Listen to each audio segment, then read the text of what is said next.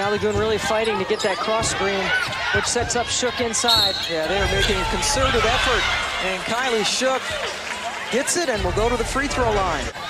Sunday, so it really is a very difficult stretch in the ACC, and here's a giveaway. Evans gets it over to Shook, who had seven points in the first quarter. Diop extends to the three-point line. Excuse me, Yacine Diop. Beatrice Mompremier missing her second straight game with a hurt foot. Shook outside. And with NC State losing to North Carolina, Canaan just eight points for 13 rebounds, held to single digits.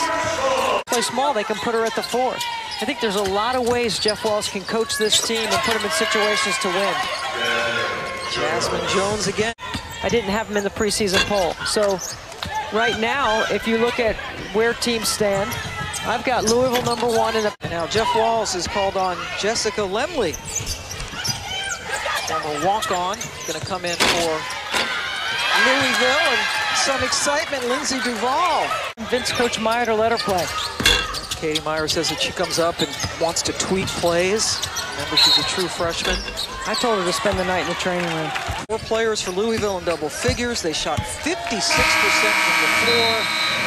Miami missed its first 16 shots from the floor, so this one was over early. And